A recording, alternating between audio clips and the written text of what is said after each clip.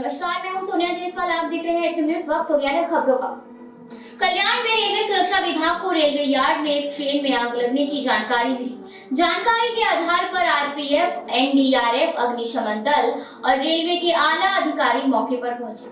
वहाँ पहुँचने के बाद पता चला कि सुरक्षा तैयारियों की जाँच के लिए यह एक मॉक ड्रिल है। जिसमें ऐसी आपातकालीन स्थिति से निपटने के लिए रेलवे की तरफ़ से एक प्रैक्टिस की गई।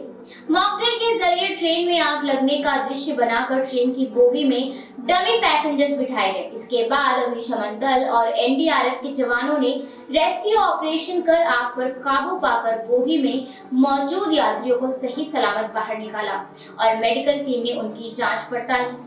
सेंट्रल रेलवे के पीआरओ के सिंह और सीनियर डीएसओ रॉबिन कालिया ने बताया कि आपातकालीन परिस्थितियों में रेलवे की सुरक्षा एजेंसियों की सतर्कता और कुशलता की जाँच के लिए हर साल रेलवे की तरफ़ से ऐसे मॉक ड्रिल किए जाते हैं, जिससे पता चलता है कि रेलवे की सुरक्षा से जुड़े विभाग कितने अलर्ट हैं।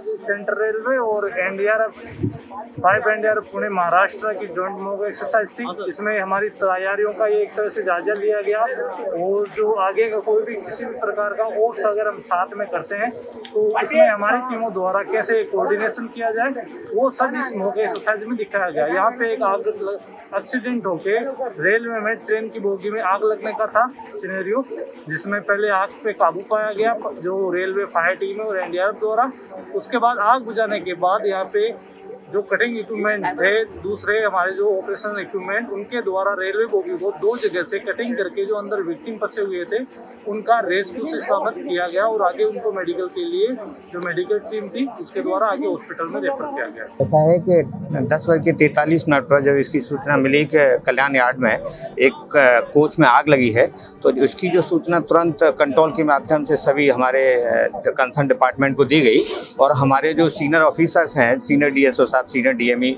और बाकी अदर सीनियर ऑफिसर्स तुरंत घटनास्थल पर पहुँचे और उसके बाद टेन फिफ्टी एट को करीब हमारा मतलब एंबुलेंस एनडीआरएफ टीम वगैरह भी पहुँच गई और हमारी जो डॉक्टर्स की टीम है, वो भी इमीडिएट साइट पर पहुँची और आग पर तुरंत काबू पा लिया गया। एनुअल एक एक्सरसाइज है जो हर साल में हम एक बार करते हैं। तो इसके लिए स्पेशली हमने एक, इस कोच में एक आर्टिफिशियल फायर का सिनेरियो क्रिएट किया गया सीन क्रिएट किया गया और दस चवालीस को कंट्रोल को मैसेज दिया गया। उसके अलावा हमारे जो प्रिलिमिनरी सबसे पहले जो स्टाफ है उन्होंने छः फायर एक्सटिंग्विशर के साथ सभी आग को बुझाया। उसके बाद फायर ब्रिगेड ऑर्डर हुआ। आप देखेंगे दस चवालीस को दस पचास को एनडीआरएफ आ गया, ग्यारह बजे एंबुलेंस आ गया, दस, ग्यारह पाँच के करीब फायर ब्रिगेड आ गया। और ग्यारह बत्तीस तक जितने भी पैसेंजर अंदर थे, हमने डमी पैसेंजर बिठाए हुए थे, सभी रेस्टोर हो गए। और एलेवन फोर्टी टू को विद इन वन आवर सभी पैसेंजर्स सुरक्षापूर्वक हमने हॉस्पिटल में पहुँचा दिए। तो रेलवे का जो सिस्टम का हमने टेस्ट किया है विद हमारी ऑर्गेनाइजेशन जो साथ में N D R F fire brigade उनका सिस्टम काफ़ी दुरुस्त पाया है। एक घंटे के अंदर इस तरह की भीषण आग को हमने कंट्रोल में किया और पैसेंजर्स को कोई इंजरी होने नहीं दी। तो it's a overall successful exercise हम इस तरह के एक्सरसाइज एनुअली करते रहेंगे आगे।